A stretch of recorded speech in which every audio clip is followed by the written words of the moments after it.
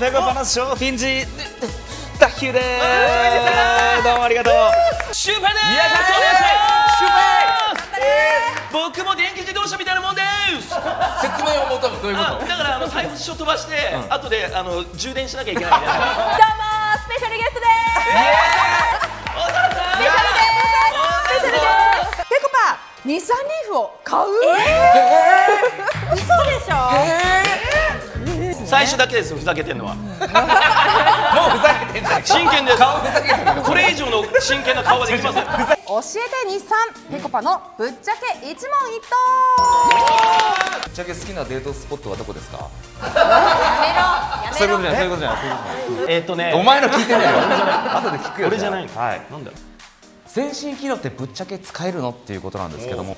今日ですねあのご紹介したいのが乗る前エアコンという機能でございます。遠隔でスマートフォンのアプリから日産リーフのエアコンをオンにしていただける機能でございます。シュウペイちゃんシュウペイ後ろ乗ってるじゃないせっかくなら助手席乗ってくれああったかい椅子あったかシートあったかくあなってるハンドルあったかマジ、わああったか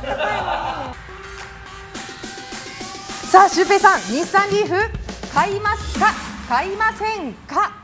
私シュウペイは日産リーフを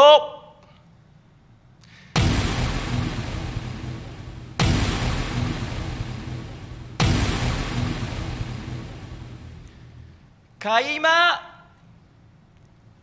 すと言いたいところですがちょっと保留でお願いします、い何それ？いや本当にすごいいいところとかもういろいろ V 見てもう買いたいっていう気持ちなんですけど一旦まだちゃんと乗ってからもう一回考えたいなっていう。私松陰寺は日産リーフを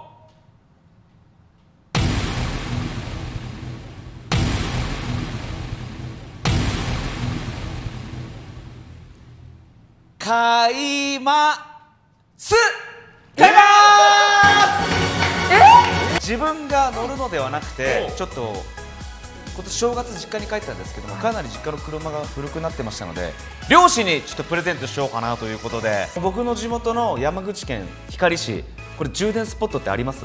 もちろんございます。OK だ決まりだ。そうちょっとねなかなか親に親孝行全然できてなかったんでちょっと車をサプライズでプレゼントしようかなと。さすが僕より稼いでるだけありますいや同じだろうがよ。同じ仕事してんだよ。もらってんすよ。言うな言うな。あんまそれややこしくなるから。交番交番でもらってんですよ交番で。この番組名言うんじゃないロニーで す。どうもペコパのショーフィンジダッヒューです。そしてこちらがどうもシュウペイです。シュウペイ。お願いします。よろしくちょっとこの企画始まる前までは正直そんなに知識もなかったんですけども、ちょっとこの企画やるにつれてどんどんちょっと知っていくことも増えてきて、充電スポットもこんなにいっぱいあるんだっていうのはそうだね。ちょっとはい分からなかったんで、あもう時代は変わりつつあるんだなっていうのを、はい、改めて実感しました。今日買ったことですよ。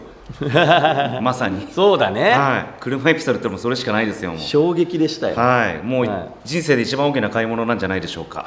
ちょっとやっぱちょっと疲れましたよね。親に後ろに乗せて、なんか地元ドライブでもしてみたいなって思います。皆さんも地球に優しい電気自動車乗ってみてはいかがですか？パワフルな生活を